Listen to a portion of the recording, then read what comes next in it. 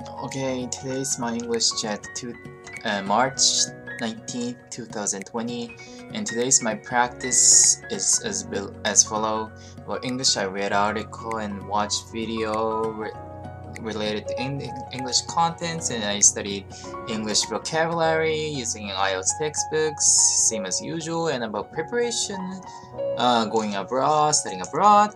Uh, today I also consider what to do next. I think based on the priority uh, what should I mainly do right now? Like for example uh, I should care about the insurance and uh, insurance and uh, in Japan and uh, what if I went after went to Canada uh, how to make the bank account to credit card was, those are very important. So compared to preparing for the moving, uh, replacing. So I, I, I consider those kind of things. And the UI UX, I studied design principles, and about programming, I studied JavaScript, React, and CSS, HTML, so on.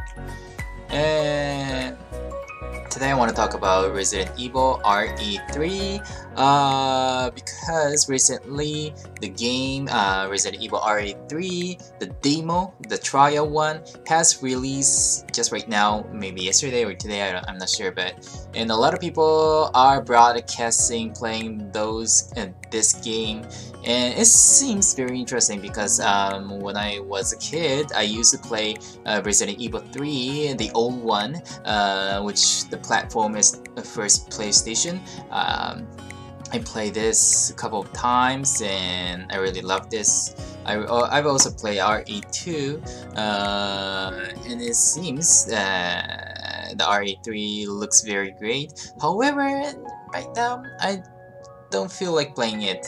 This is not because the uh, qual the quality of this game is bad. It's just my feeling. Just I I'm not feel like playing uh, our Res Resident Evil right now. I feel like playing other game. So, but why then? Uh, you talk you're talking about I'm talking about RE3 is just uh, it was uh, yeah like I, as I said before the demo and the trial has released recently, so it's, it, it looks very interesting.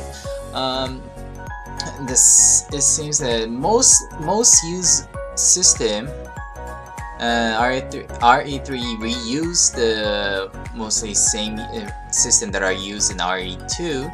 Uh, the UI is also UI and UX also looks similar to R mostly it's same as RE2 and the maps something they reuse RE2 maps and yeah, it's it's very similar to the old one and old uh, the relationship between old uh, uh Resident Evil 2 and Resident Evil 3 because the Resident Evil 3 was made reusing Resident Evil 2 so it's like kind of same so I think it's very good remake yeah so one day I, I will like to play someday.